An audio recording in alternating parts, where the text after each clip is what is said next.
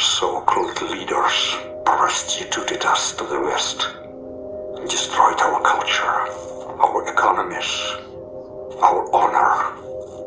Our blood has been spilled on our soil. My blood. On their hands. Delta 1 2. They are the invaders. All US and British forces will leave Russia